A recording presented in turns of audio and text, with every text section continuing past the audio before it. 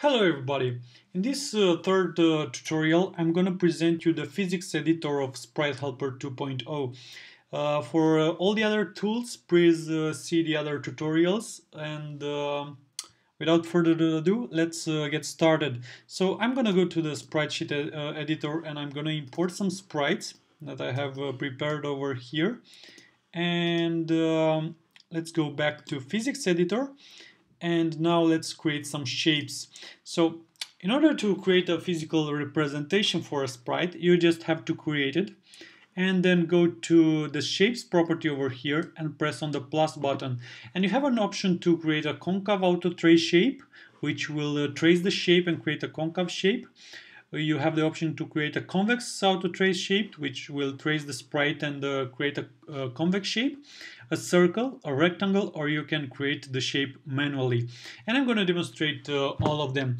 So I'm going to create a concave shape, and as you can see, the sprite has uh, been auto traced, and you can go to the simplify option and uh, drag the slider and simplify the, the shape even further or you can uh, go to um, a point and hold option key and click on a point to remove it or click on a line to add another point and uh, further refine the shape. And uh, uh, that's how easy it is to edit a shape. So let's also create a convex shape which will uh, create a convex shape for the sprite. In many cases you may not need this uh, but uh, it's good to have the option to auto trace with the concave uh, with the convex shapes because uh, in certain condition you may need uh, convex shapes for uh, uh, an advanced algorithm or whatever you may do in your uh, in your game. And um, you can also um, create circle shapes. So let's create a circle.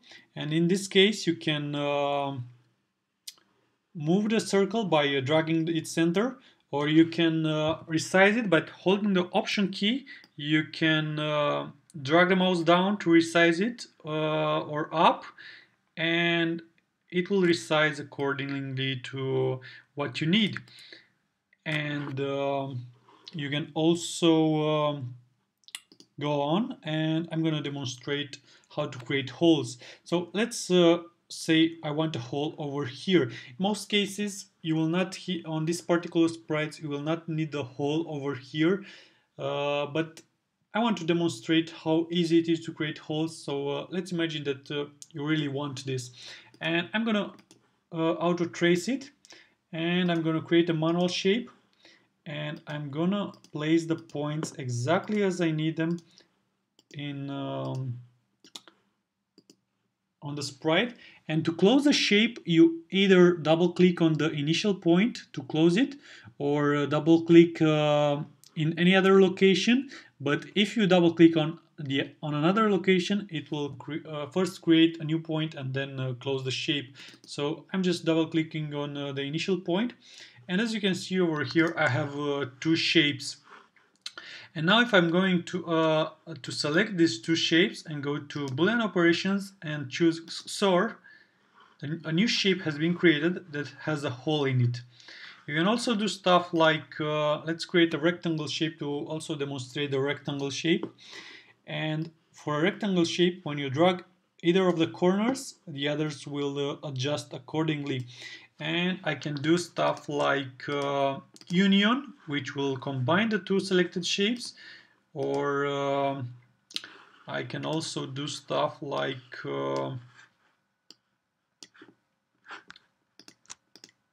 intersection which will uh, create a new shape that uh, is the intersection of the two. Or uh, let's select this circle. You can do difference which will remove the part where uh, the two shapes uh, combine based on uh, which shape is the second. And that's how easy it is to edit the shapes and and create physical representation. Okay let's auto trace this one. And I have this also and I have two shapes. Let's set the physical type to dynamic. And uh, after you set the physics type to dynamic, you can go to simulate.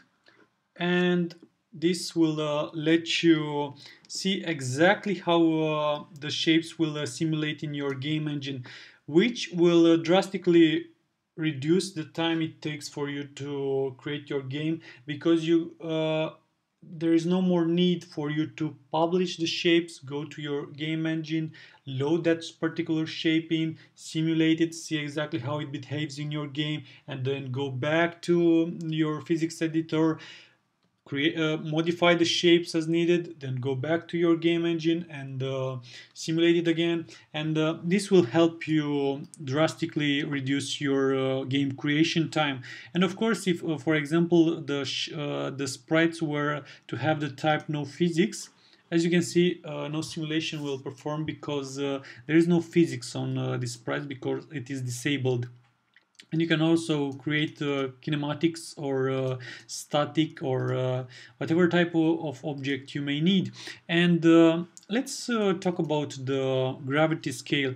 Um, as you can see these two sprites uh, have the same gravity. But if for example I set this gravity to 0.5 and then select these two sprites as you can see this will fall um, with a different uh, ra uh, ratio. Or I can also do a gravity scale that is for example uh, minus 0.5 and it will go up.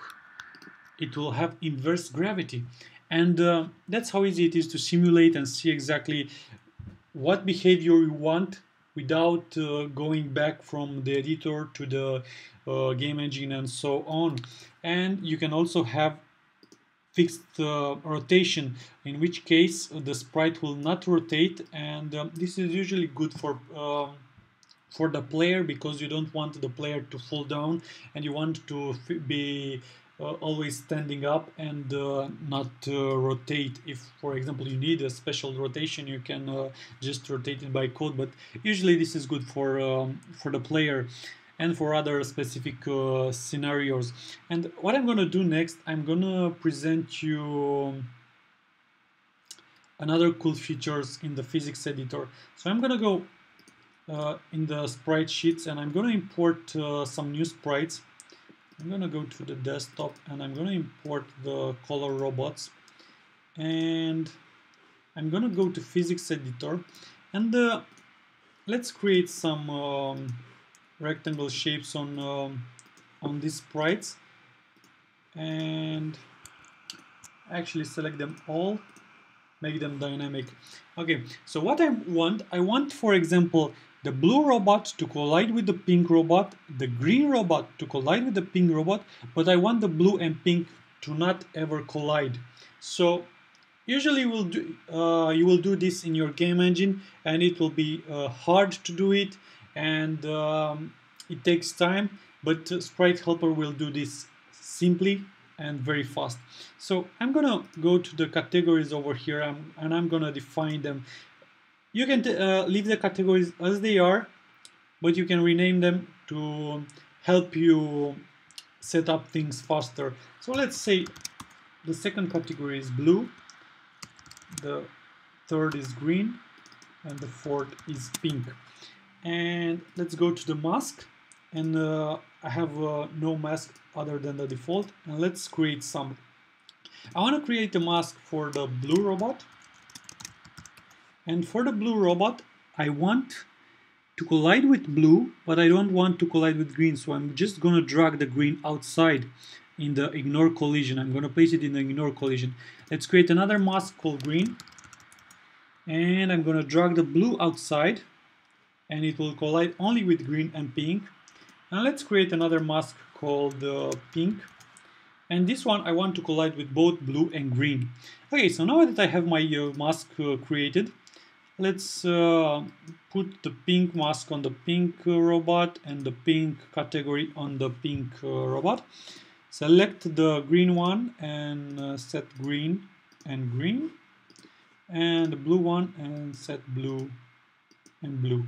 Okay, so now if I am to uh, select both all the th all three sprites and simulate them, I will see how collision filtering works and how easy it is uh, to see the results inside inside Sprite Helper. So as you can see, the um, the blue collides with pink, and the the green collides with pink, but the green and blue do not collide. So that's how easy it is to create collision filtering and simulate uh, collision filtering to see exactly how it will behave in your game engine. Thank you for listening. This is the physics editor of Sprite Helper. Have a good day.